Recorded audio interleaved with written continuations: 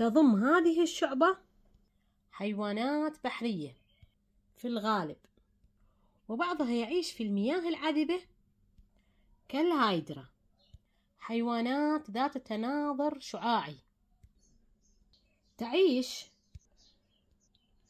بشكل منفرد.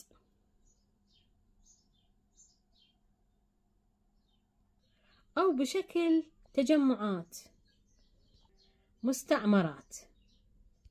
يتكون جدار جسمها من طبقة خارجية تسمى البشرة والطبقة الداخلية تسمى الأدمة المعدية.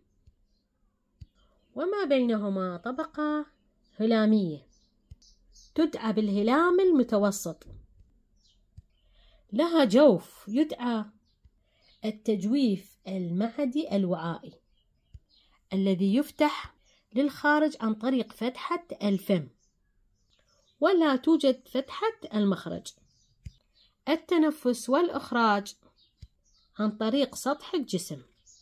الجهاز العصبي بدائي مؤلف من شبكة من الخلايا العصبية والحسية.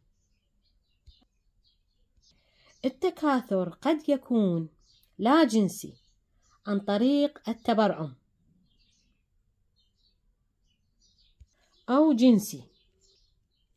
من خلال تكوين الخلايا الذكرية التي تنتقل إلى الخلايا الأنثوية